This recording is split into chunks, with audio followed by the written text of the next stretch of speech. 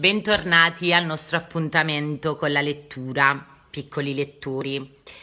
Oggi, mh, mm, per terminare questa settimana dedicata alle letture natalizie, ho scelto di leggervi questa simpatica storia intitolata Oh che barba, Babbo Natale di Emmanuel Kesir Le Petit. Babbo Natale è proprio seccato la sua barba, a forza di crescere per centinaia di anni, è diventata così lunga e folta da causargli non pochi problemi. Si trascina per terra raccogliendo la polvere e impigliandosi ovunque. Per Babbo Natale ormai è impossibile anche confezionare i regali. La sua barba si annuda allo spago, si attorciglia al nastro. La situazione è esasperante. Le renne la rosicchiano e i folletti la toccano di continuo, ormai è tutta ingarbugliata. La sera del 24 dicembre, quando Babbo Natale si prepara a partire, ci mette così tanto a pettinarla che comincia sempre il suo giro in ritardo.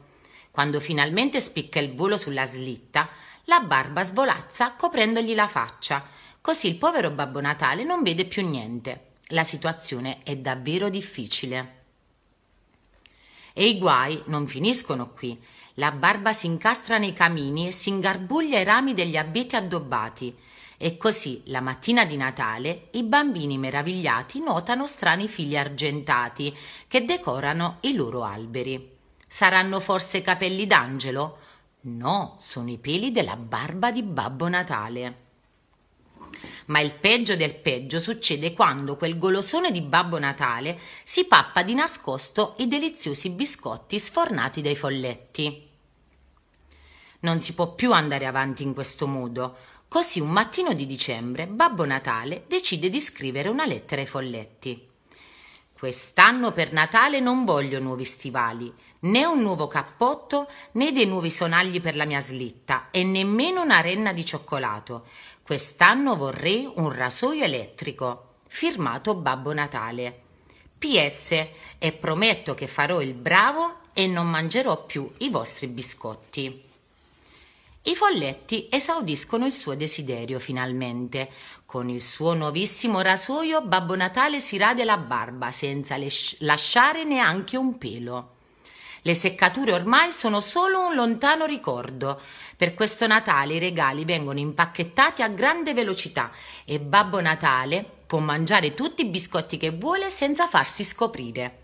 Tutto va per il meglio fino a quando Babbo Natale prende il raffreddore.